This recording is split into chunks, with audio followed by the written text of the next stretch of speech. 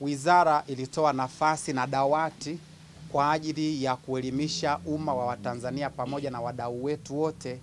juu ya shughuli na huduma ambazo wizara inazitoa, na tunapenda kuamini kwamba wadau wengi wamefikiwa na wameweza kuelewa jinsi wizara ambavyo inafanya kazi zake na kutoa huduma zake kwa umma wa Watanzania. Na katika wiki hii tukiangalia pia ile ambayo ilikuwa ni dhima kuu ya wiki hii ya maadhimisho haya kwamba tunatamani kujenga na kuleta maendeleo yetu kwa bara zima la Afrika kupitia uadilifu wa utumishi, na hili ndilo jambo la msingi sana, kwamba watumishi wa umma ndani ya Wizara ya Madini pamoja na serikali tunatamani kuona kwamba tumepata trust, tumepata dhamana, tumepata privilege, upendeleo wa sisi kuwa ni watumishi wa umma, na sasa kupitia huduma yetu ya utumishi wa umma tuweze kutoa huduma zetu kwa uadilifu. Maana yake ni kwamba mtu au mwananchi anapokuwa ameingia katika ofisi yako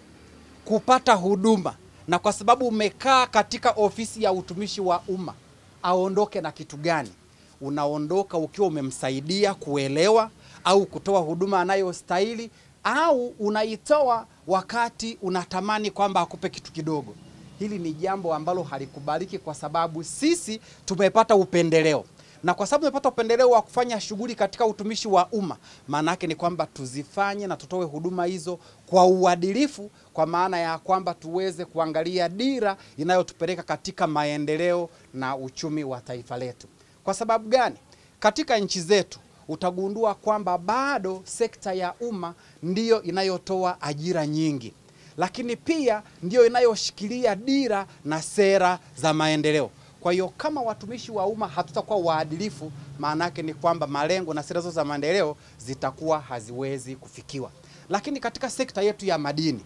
sisi tunashughulika na watu ambao wameingia katika biashara na wamewekeza mitaji yao katika uchimbaji. Kwa hiyo itakuwa ni ajabu sana, wao wanategemea serikali tuwape leseni wao wanategemea uh, taasisi zetu ziweze kutoa huduma za maabara. Hatuwezi kufikia malengo ya kutoa huduma iwapo hatutakuwa na uadilifu katika hilo. Kwa hiyo katika wiki hii na nipende, ku, ku, nipende kuomba watumishi wa umma tutambue kwamba tumechukua dhamana ya kuipeleka sekta yetu mbele, na jambo la msingi sana katika haya yote ni kutoa huduma zetu kwa uadilifu, na ndiyo maana wizara imetoa mkataba wa huduma kwa mteja. Ni jukumu la mtumishi wa ndani ya wizara kujua huduma ambazo tumeziweka hapa, na uzuri wa kitabu hiki huwa kinatoa na muda gani ambao huduma fulani itafanya nini, itatolewa. Kwa hiyo unapokuwa wewe mtumishi wa umma umesema kwamba nitakupa leseni baada ya mwezi mmoja nitakupa majibu ya maabara baada ya wiki moja, alafu ukaleta urasimu pale, maana yake ni kwamba umeangusha malengo ya wizara yetu. Kwa hiyo niwaombe watumishi wa umma kupitia kilele hiki kwamba tuendelee kuona kwamba tunapokuwa tunatoa huduma tuzitoe huduma kwa uadilifu, lakini pia kwa malengo ya kupiga hatua kwenda mbele. Lakini pia wateja wetu ambao ni wachimbaji pamoja na wafanyabiashara ya madini watambue kwamba milango ya wizara iko wazi, na wao pia wachukue muda kuona kwamba huduma tunazozitoa ziko hapa ndani, na iwapo kutakuwa na changamoto yoyote ile, ndiyo maana madawati kama haya yapo, ofisi ya katibu mkuu ipo, ofisi ya utumishi wa umma ipo kwa ajili ya kutatua changamoto zao wakati wowote ule. Lakini pia tulipokuwa katika wiki hii ya kuadhimisha kilele cha utumishi wa umma, hata watumishi wenyewe ndani ya wizara walikuwa wana mambo yao ambayo wangetamani kuona kwamba haki zao za kimsingi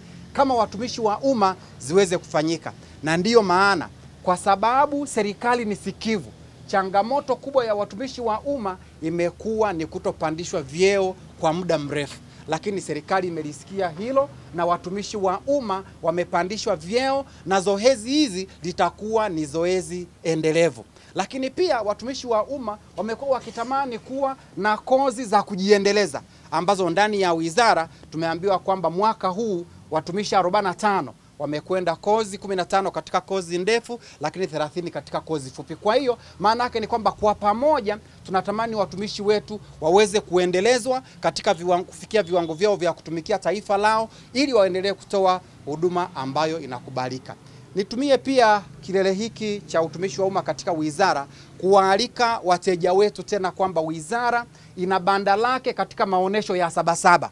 Kwa hiyo huko nako, kama kuna mambo ambayo hawakuyaelewa au kama kuna watu ambao hawakufikiwa kwa sababu ya huduma yetu ya wiki hii, wanaweza wakaenda katika banda letu, na katika mabanda yetu kuna changamoto ambazo zinatatuliwa papo kwa papo. Kwa hiyo waende katika banda letu uh, la Wizara ya Madini kule Sabasaba. Pia watapewa elimu ya kutosha, wachukue vipeperushi na waulize maswali ya kutosha, ili kwamba wanapokuwa tunamaliza uh, namna yote hii ya maonesho, basi wanakuwa wana uelewa wa kutosha kuhusu huduma pamoja na yale ambayo wanatarajia wizara iweze kuwafanyia. Lengo letu ni kuona tu kwamba tunatoa huduma ambayo inafikia kiwango cha kumridhisha mteja, na mteja anapokuja Wizara ya Madini aendelee na yeye kufurahia kwamba amefika katika wizara ambayo inajali wateja na wateja wanajali huduma zetu.